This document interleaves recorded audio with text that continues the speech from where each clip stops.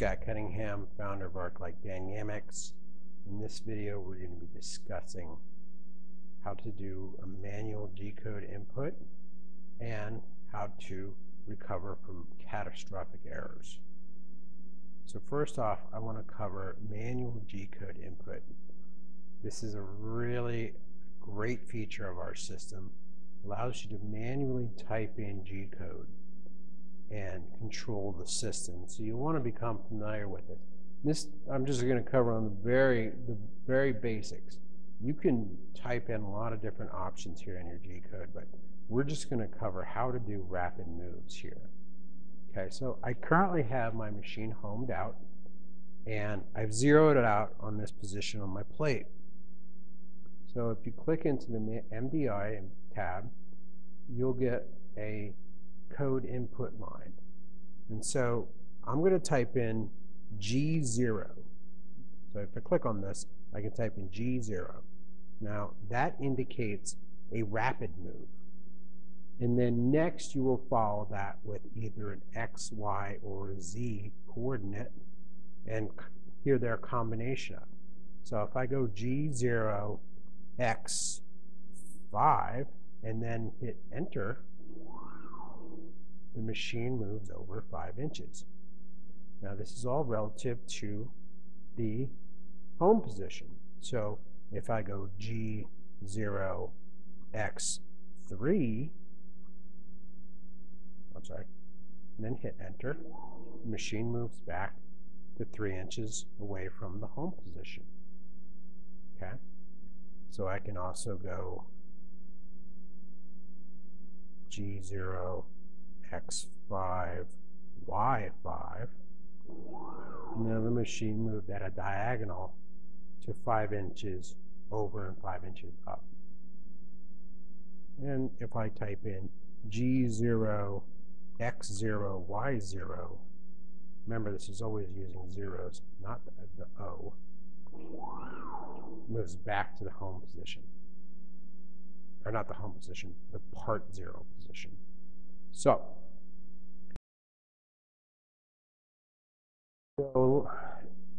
this ability to manually input your G code gives us the ability to basically recover from any type of error as long as we know the distances, the coordinates between our home position and where our part zero position is. So I would recommend you do this anytime you're cutting out a large nest um, of parts. So like I said in past videos, the only error we can't recover from is if the material moves. You know, if that material moves, there's no way, and you don't have a positive stop, there's no way to get it back to exactly the right position. So, but as long as your material doesn't move, your computer could shut off, um, just everything could go wrong as long as you have your coordinates between the home position and your part zero written down, you're going to be okay. So first off, I'm going to go back to auto. Make sure my z-axis is high enough. What I want to do is home my machine. And so this is a practice you want to get into doing before each nest.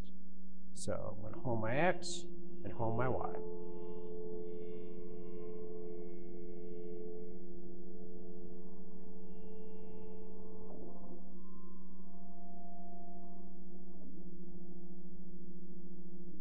Okay. Now I'm going to zero my X and Y. Now I'm going to drive back over to where I want my part zero to be. So for example, let's say I was going to start a big nest. This is where I wanted to start. So basically, it's not necessarily your z-axis that's important. It's your x and your y. No matter what happens while I'm cutting out this nest. So basically, I would write down these coordinates, and then I would zero my x and my y. And that sets my part zero. Okay? I could also zero out my Z2, which is important. So now I've zeroed out, but I have my coordinates written down.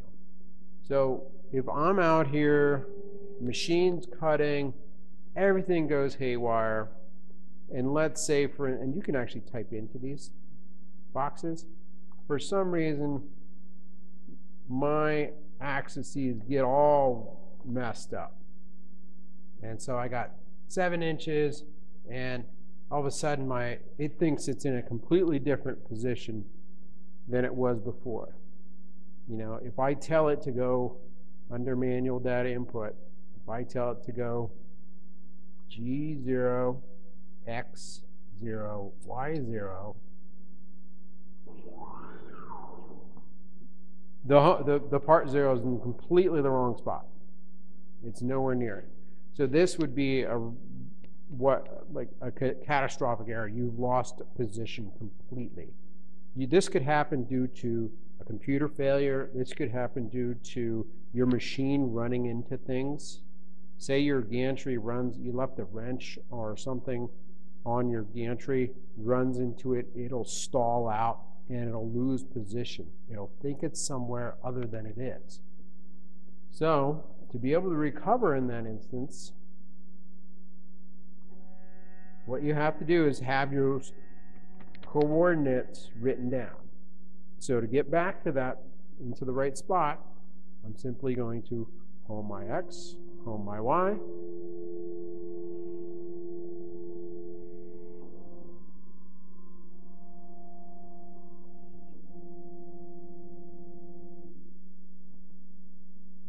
Then I'm going to zero my y, zero my x,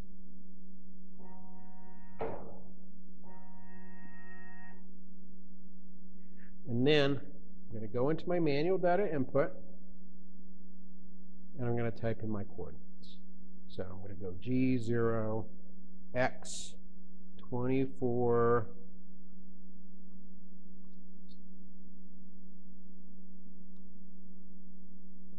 and then Y, 9.6700.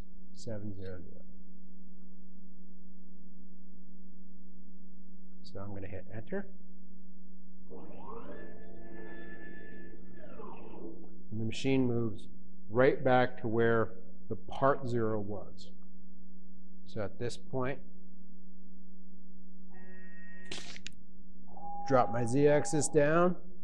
I can either home it or I can get it close to the plate. At that point, I can zero back out.